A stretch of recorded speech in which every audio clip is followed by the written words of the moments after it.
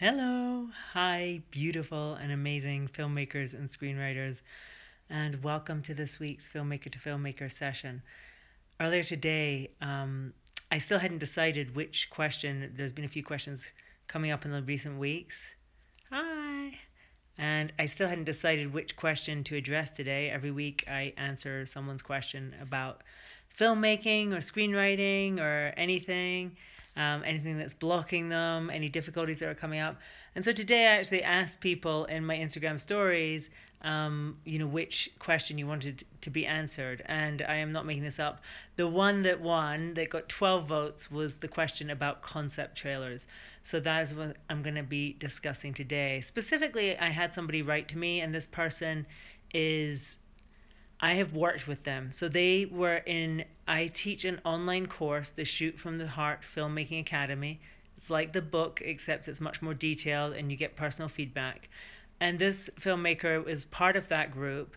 And so I've got to know him quite well. And he's actually signed up for a couple of my other courses now, too. Um, and he reached out to me. He's really committed. He's really passionate. He's really making it happen. Um, and he's struggling though with getting his concept trailer off the ground. He says he just doesn't think he can afford to do it. And is it really essential? So we're going to dig into that today and we're going to start really obviously by talking about what concept trailer is because some of you might not be familiar with that term. Um, in my book Shoot from the Heart, I do advocate very strongly that you should make a concept trailer if you you know before you try to raise finance for your film and the reason that i recommend it is because for me it's been such a game changer now with my first film i got together a package to go to a financier. I had the script. I had a business plan showing you know how much money i needed. Um, i had the budget obviously the schedule. Um, and so I'd really like figured out everything about how I was going to make this movie for the amount of money that I was looking for. And I took it to the the person that I thought might give me the money, and he looked over all the stuff, and then he got back to me and he was like, "Okay, I actually love the script. Um, the budget's amazing. You know, it seems to hold, and it would be amazing if you could make the movie for that amount of money. And I love everything about it. But this financier said to me, I just don't know if you can make the movie. right? Which was a totally fair comment because, of course, I'd never made a movie before. So I couldn't show him a short film. I couldn't show him another feature that I'd done. I had nothing to show. And so I said to him, okay, hold this space. I'll come back to you in a month's time. And what I did then was I went and shot a concept trailer, and I've now I now call it a concept trailer. I don't know um, what you want to. Some people might call it something else, but basically what I shot was a whole bunch of scenes from the film, and also things that actually weren't in the film, but tonally or mood wise felt right. And then I cut it together into a trailer as if the movie had already been made. So it's a trailer for a movie that just doesn't exist, right? And I showed that to him. Um, and so it's like a three minute, you know, trailer for a film that doesn't exist. I showed that to that financier and boom, he was in, right? And I just went, oh, this is such a great thing to do because a lot of people they don't know like a lot of people that you're going to for money they don't read scripts typically. You know they're not film production companies they're private equity investors right? They're people with some money that you know could invest in your movie. And so for these people, you know, like reading scripts, looking over the budgets, that might not mean that much to them, but everyone on the planet, like everybody can watch a trailer and say that looks like a good movie or not, right? Or that looks like a movie I want to see or not. And so for me, that's what a concept trailer is, right? It's a trailer for your movie before your movie exists. Okay? And for me, like I I sort of teach a very specific formula for making them because I have done them now. I did it for my third film as well. I think there's like other bonuses to making the concept trailer. It's not just about raising money, it's also actually about like having a sketch for your film, like doing a, you know, like like exploring your film through the through the medium of film because i feel like when you um, come to shoot your film. If you've done a concept trailer you're gonna make a better film. Hey Tully hi. So nice to see so many friends. Um, so uh, like I think the benefits of doing a concept trailer aren't limited to raising the finance. I think you'll make a better film yourself if you do it. Because basically it's an opportunity for you to go out with actors and your camera person, your cinematographer, and shoot stuff and get a feeling for what your film is going to look like, what it's going to feel like, what the rhythm of it's going to be, what the tone is, all that stuff. And if you have the opportunity to do that, you will make a better film. Somebody said I made one of these for my college degree project. Yes like how an outline probably makes your script better. Yes exactly. You know it's just a chance like i think in my with my third film you know i was really conscious of like getting to try out different things and sort of going is this how i want it to look or is it this? You know? And it's a low risk um, test for everything. So i just think it's like it's so worthwhile and not just to raise money. Although, in my experience, for raising money, it's the game changer. Also, if you plan to do crowdfunding, obviously, if you do this, if you make a concept trailer before you do the crowdfunding campaign, you'll have amazing material to put into your crowdfunding campaign video. So, I mean, to me, it's just like win win win, right? Like, you can't lose by making it. What I generally recommend for people, and as I say, I've come up with a sort of formula because I think some concept trailers are very effective and I think some are not so much a lot of people like think, oh, I'll shoot a scene that is really, you know, an important scene for my movie. I think that can be a good way of doing it. Like it, de- it just depends on your movie. It depends on your movie. It depends what you're doing. I personally think much more powerful than doing a single scene from your movie is shooting a whole bunch of things that you cut together to make into, as I said, like a trailer for a movie. And if you think of a trailer for a movie, it's got like the most exciting parts of the movie usually, right? It's tied together with music, maybe some voiceover, and then it's like the exciting moments of the film. And that's what I recommend people do. And I think you can usually usually do this in a day shoot or perhaps two days. Um, I've usually done it really in a day, although usually I've traveled somewhere, and so there's like a bit of travel involved. So it's taken us two days. We spend overnight somewhere. Um, but I think you can do it in a very short time. What I recommend to people, and part of my like formula for doing the concept trailer is doing it shooting MOS, which means not shooting sound. So what I recommend is that in a day, you know, you have your actors, you have your um, DP, you maybe have one assistant. That's all you need. You don't need a sound person, and then you just shoot as much as you can in that day. But very important, it has to look fantastic. Okay, there's no point in shooting the stuff if it doesn't look great. It has to be quality, right? So you are shooting as much as you can, and in a day when you're not doing sound, you can really plow through it. And you can also get like a lot of improvised stuff from the actors. Do you know what I mean? They don't need to know lines.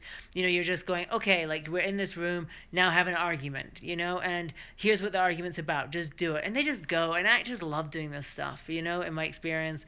Um, and so then you can just explore the scenes in a really organic way and it's not like tied down to the lines. I've also found like when I did this for my first film, Obselidia, I think there's something very freeing being with, you know, a little group of people and being out, like, okay, like, where, you know, where are we going to shoot? What are we doing?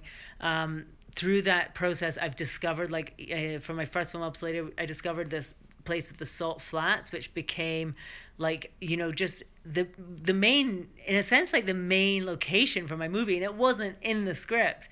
You know it was literally like we were out shooting this concept trailer and suddenly we're driving along and we see these salt flats. And it's like stop the car you know? And i had no idea like there was no scene written there but i was like okay guys just have an argument you know let's let's pretend that you you say this and then you go you know and they just go off you know and and we just filmed it and we just said all right let's put the camera here. What about here? What about here? And that became the template for i think one of the most you know one of the most sort of iconic scenes from that film you know? And that came from the concept trailer. So so what I recommend is I say shoot MOS, don't do sound. Shoot as much as you can.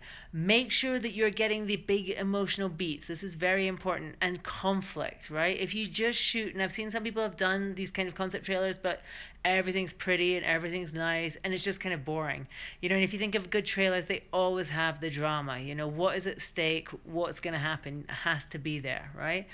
And then, you know, after you've gone out and gathered this stuff, you just like find a piece of music, put the music over it, um, and then get VO from one of your actors, You know, I usually just like write up something that's sometimes I have something in the script that's close to what I can use.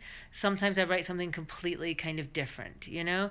And this formula has worked for so many people. Like I've taught it for years now. People have used it for horror films, people have used it for comedy web series, people have used it for like all kinds of different movies. Like my movies are sort of more like poetic, philosophical, but I swear this formula works for all kinds of films. It's not just for those ones. Um, so that's how you can make one. Now, this person said to me, and I think you can do it very cheap right? Like I, you know, because this is one instance where I do ask actors and DP to work for deferred payment. I don't pay anybody for actually working on these things because I tell them, you know, obviously this is us pitching for the job, right? I've written a script by this point. I've invested hundreds of hours into it. I, you know, I think they can invest a single day um, into the project if they believe it. I would never ask them to work for free on the actual shoot, but this is one instance where I think it's okay to ask people to work for a deferred payment, and that's what I do to keep costs down. Um, there are costs that you can't avoid though. There might be location costs. There might be obviously there's camera rental and insurance. Um, and perhaps and feeding everybody. And then perhaps also there's uh, the cost of like putting them up if like me you've taken them out of town and you have to put them up for the night. So these are some of the costs that you might incur. For me it's usually i've managed to keep the cost below $2000 um, and each time i've felt um, legit about putting it on a credit card, you know, of using my own money. And it's the only time as well that I recommend that I would say it's okay to do that, you know, because I just feel this is a time where, you know, if you get this right, you will get your movie made and it's worth that money. It's worth taking that chance. That's how I feel. I generally never recommend like going into debt to make your movie. I don't recommend getting yourself into stressful financial situations.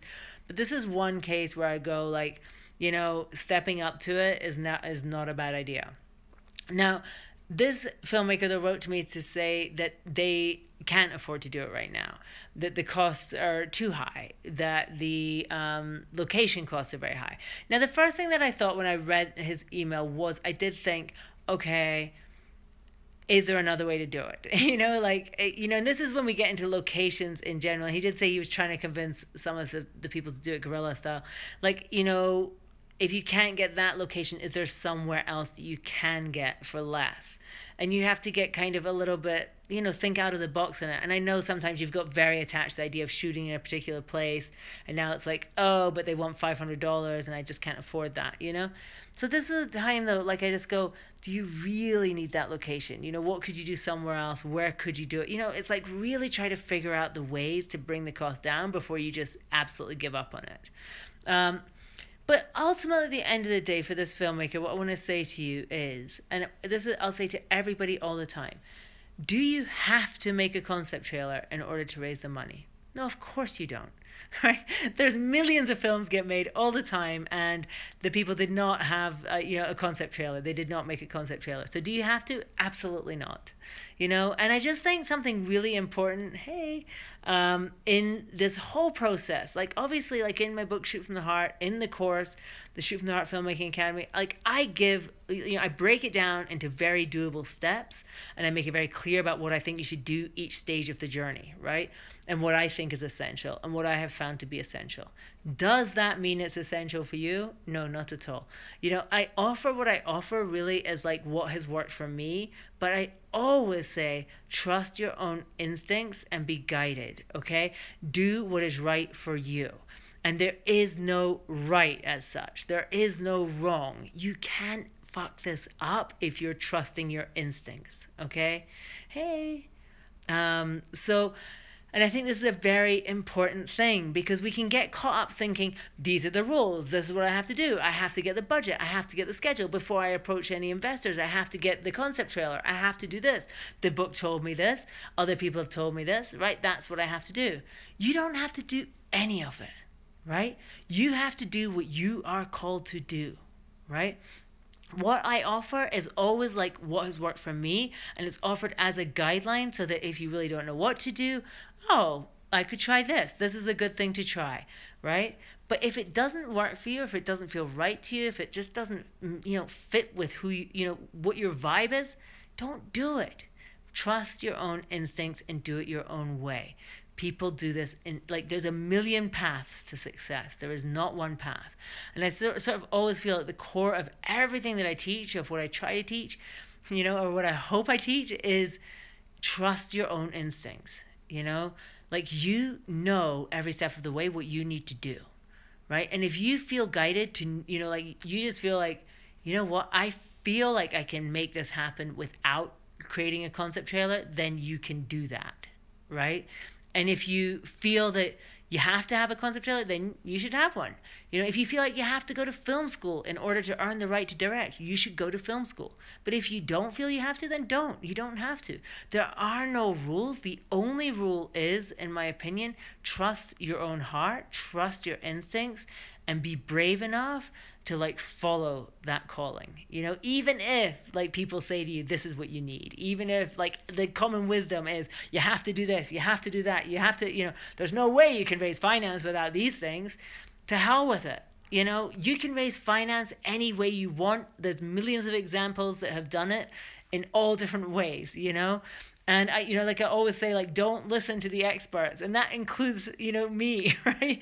You know, and it sounds crazy because I've, I've written this book and I, I teach this course. But honestly, right? Like, you know, I offer it just as an example often of like not following conventional wisdom, the fact that you cannot follow it and have huge success. And I feel like it's the same for everything that what I offer, you can ignore it all and and just, you know, and do your own thing trusting myself. I know I can. Yes, exactly. And I just feel like when you trust your own instincts, and I did it 100% every step of the way with my first film. I trusted my instincts. I did not do anything that was conventional. I mean, like some of the decisions I made were crazy according to conventional wisdom, right? For instance, you know, a name actress wanted to be in the movie and her manager offered $500,000 towards the budget if I cast her. $500,000. And I turned her down. I turned them down because I just didn't feel it, you know? And I, w- I did the right thing there, you know? And this is the thing with everything that you will do, you know, making your film. There'll always be someone like me telling you, now you got to do this, now you got to do that. You have to have that. You have to have a concept trailer to raise finance. And honestly, you don't honestly you can just you can do whatever feels right for you and you can succeed you know and when you trust your own guidance you will succeed. I honestly believe that. Um, someone says anyone who says can or can't regarding stuff like this is probably just talking about their own limitations. 100% and the perception that there are rules. And i think the idea that there are rules can be sort of like it can be a balm to us in a way because we sort of feel like if we follow all the rules then then things will work out. It's not true. It's just not true you know, because I go like, you can follow all the rules and totally not make a film. You can follow all the rules and have a shitty film, right? That happens all the time, right? How do you make a great film? How do you have success at this? How do you get the financing? How does it all work out? How do you have success in life? It's by trusting your guidance inside you and doing that no matter what, you know? So, to wrap it up, for this filmmaker. It's great, isn't it? We start talking about concept trailers and then we end up talking about like everything. Um, but um, to this filmmaker, you don't need a concept trailer. I just wanted to say that. I just wanted to give you that message and just give you a big boost of like, you've got this. Do you know? Yeah, it is scary to be free. Somebody says letting go of rules is like letting go of an external locus of control. Scary to be free. And that's it. I think for a lot of us, it's much more sort of it feels safer to believe that there are rules and that if we do everything we're meant to do, then we will be rewarded. And I just really believe that's not true. You're already worthy of everything you dream of. You don't have to follow any rules. And when you trust like that that's inside you, that's when great things will happen. Um, thank you. I'm so glad. Uh, somebody said that, my live streams lighten your mood. That's a great. That's a great thing, because I think it, if you work through all this stuff, if you're making movies and you stay in that place of just like joy and creativity and excitement, that's when you'll have success yes, you're welcome. The filmmaker, the film, we got the filmmaker in the house who I was talking to today, and I know that you came in late. So um, just to let you know that I've been addressing your question about do you need the concept trailer, and uh, you will find you will find the whole thing. Um, uh, I'll, I'll I'll post it on the stories, and then I'll put it on YouTube later. Um, after instinct, think boundaries. Yes, Yes. But I just go, trust, you know, like, so I think one of the things in our minds, though, too, is if we think we have to do certain things in order to succeed, right? If we think, oh, unless I have this, I'm never going to succeed, then you won't succeed, right? Like, you know, if you've put it in your head that you can only succeed at filmmaking if you do this, right? Um, then I go, like you won't succeed at that. So if you go, I, I won't do like I won't get the money unless I have a concept trailer. If you believe that and then you go try and get money and you don't have a concept trailer, it's going to be a disaster. You know, you have to change the belief in your head just to go. I know I can raise money without it. I have such an amazing project. I know I'm going to convince people and I'm going to go get it. And as I said to this filmmaker, the other nice thing too on this journey is you can always um, change your path. So if you go out and you start trying to raise money and you know you're not getting the money and you're having dialogues with possible investors. And this is what happened to me, as I said. Like, you know, I went to that investor. He said, I love all the stuff, but I don't think you can make the film, or I don't know if you can make it in the film. That's why I made the concept trailer. And you might find yourself in the same situation that you're having a dialogue with somebody, they don't want to put the money in because they're not 100% sure. You know, at that point, I go to you, get your credit card out and make the concept trailer, find the money, do it. You know, it's worth it. All right, you guys, thank you so much. Um, so nice to see you here on Monday. Belief is everything. Belief is everything, and rules are nothing. you know, don't let anybody ever tell you that there is something, you know, that you must do, including me. I just offer what I offer because it's worked for me, and I offer as a possible outline or possible guideline for how to do things. But it's never the Bible, man. It's never the Bible. Just do your own thing. All right, I love you guys. Um, I hope that is helpful and have an amazing week.